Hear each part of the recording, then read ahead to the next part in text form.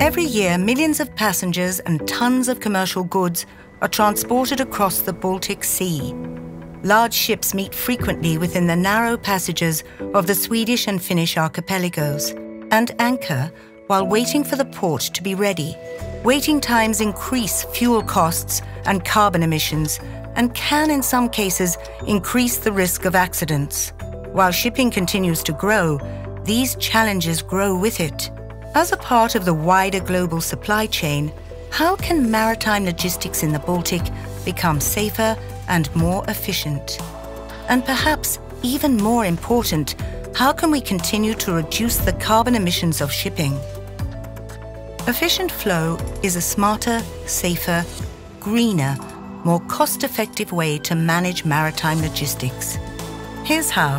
Goods transport is a foundation for modern society and most of the goods travels by sea.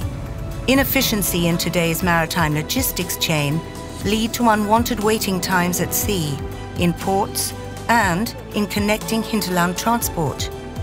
All involved actors in efficient flow share information in real time. This will increase the punctuality and let the actors utilize their resources more effectively.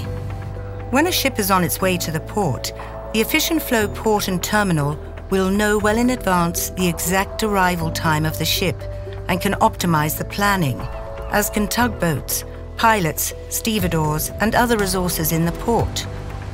For example, the container's exact location on board, combined with the planned order of unloading, will enable the terminal to inform the truck driver of an accurate pickup time well in advance. Both the port of Rauma and the port of Gävle are expanding their container operations and are looking for ways to increase productivity. Efficient flow helps the two ports eliminate unnecessary waiting times and increase predictability for all operations.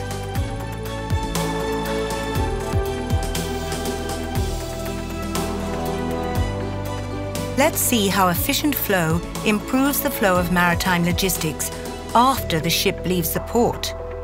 The Baltic Sea is one of the busiest waters in the world, with over 65,000 passings from 10,000 unique ships every year. Today, these ships have to manually plan their own routes using basic satellite maps and radio communications.